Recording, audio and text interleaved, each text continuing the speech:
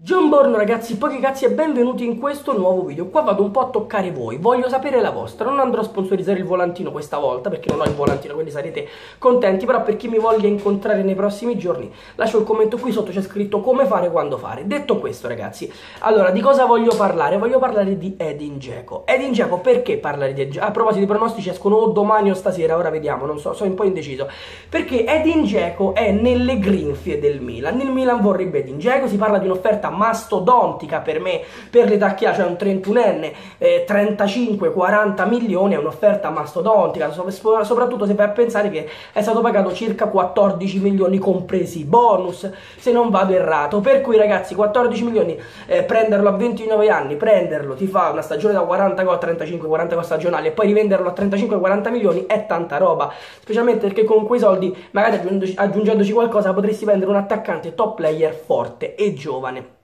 Però, però, allora, io l'ho sempre detto, io non ho mai nascosto il fatto che Edin Dzeko da quando ci è arrivato a Roma è sempre stato uno dei miei giocatori preferiti, l'ho difeso nel male, mi sono presi peggio insulti, l'ho visto risorgere, l'ho ringraziato per avermi dato eh, questa possibilità di prendermi le mie rivincite, però c'è da dire anche che va visto da più parti, cioè io non è che eh, Dzeko è il capitano, che Dzeko lo amo, cioè Dzeko è un giocatore, un gran giocatore, un buonissimo giocatore che ha fatto tanta roba quest'anno, perché 40 gol stagionali, raga, 35 gol stagionali per ora, 35 gol stagionali, so 35 gol, 36 mi ricordo. So comunque un botto di gol stagionali, soprattutto per un attaccante che per molti era stagionale, soprattutto per un attaccante che a 29 anni, quindi al top della propria carriera, hai pagato 14 milioni. Ora, ora, ora, a me, sinceramente, Diego mi ricorda, non so a voi, in misura anche un po' minore forse, però mi ricorda il Manzukic del, eh, delle altre squadre, non della Juventus. Allegri gli ha dato un'altra faccia a Manzukic, cioè lo ha messo a lottare sulla fascia, lo ha messo a fare il giocatore di sacrificio. Il Mandzukic delle altre squadre, vedi il Bayern Monaco per dirne una, era un giocatore che si piazzava davanti la porta e ti sfondava la rete. Cioè Mandzukic era un giocatore capace, nonostante a me non piaceva prima di andare alla Juventus perché aveva delle qualità che personalmente non mi piacciono e anche a me Dzeko prima di venire alla Roma non piaceva perché ha delle qualità che non mi piacciono.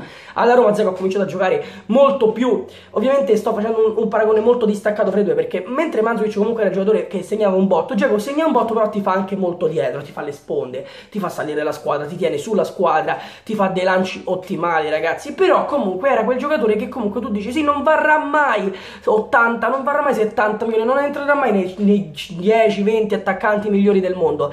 Però segna. Cioè, se tu devi a Geco, dai via un giocatore che ti ha fatto 35 gol quest'anno. Quindi alla fine uno va a fare un paragone e dice ne vale la pena? E io non lo so, ragazzi, sinceramente non lo so. Da una parte per far per creare una Roma come la vuole Monci, ovvero una Roma pronta, una Roma giovane, una Roma veloce, una Roma eh, nuova, una Roma con una nuova linfa. Questo serve, serve più gente di 25 anni, veloce, che corre, che vale tanto e che può dare tanto alla Roma per tanto tempo, piuttosto che un giocatore che fra due anni, probabilmente due o tre anni, si ritirerà e adesso ci puoi fare 40 milioni. Però d'altra parte è il giocatore che mi ha fatto gridare per tutto l'anno, a sentire dal commento Edin! La risposta da me allo stadio è sempre stata Geco e questo mi farebbe molto molto triste.